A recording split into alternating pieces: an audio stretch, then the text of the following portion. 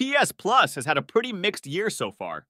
While there have been some key highlights, the lineups of games across the Essential, Extra, and Premium tiers have been mixed at best. August could mark a shift for the service as we head into a busy end of year release season with tons of huge games. However, despite not knowing the games yet, that doesn't mean we can't make some predictions as to what could appear in the Essential tier and headline this month's lineup. Our first prediction is Outriders Complete Edition.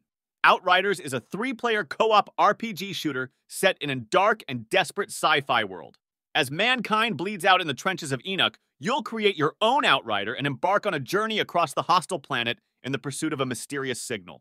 The complete edition also includes the Worldslayer expansion, which brings an entirely new endgame, fresh class trees, and a new campaign to work through, on top of a ton of new loot to earn.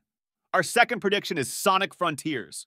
Race across five massive overworld islands, each with their own unique action platforming challenges and hidden secrets to uncover in Sonic Frontiers.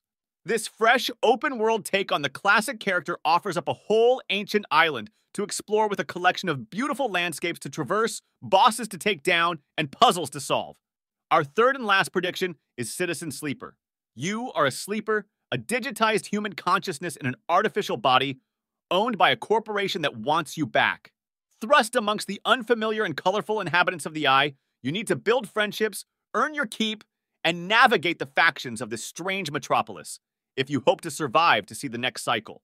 Citizen Sleeper is a classic, narrative driven adventure where you decide what happens, and it was one of the most critically acclaimed games of 2022. There you have it, our predictions for the three games that might grace the PlayStation Plus Essential tier in August.